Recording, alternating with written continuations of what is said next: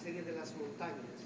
Eh, yo siempre hablo con, así igual, con niños en Bolivia y les digo, nosotros somos tan grandes porque la montaña es grande, somos seres, seres montañas. ¿no?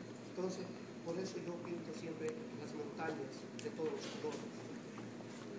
Um, and so he also paints uh, mountains uh, of different colors because uh, mount, he believes that we are mountains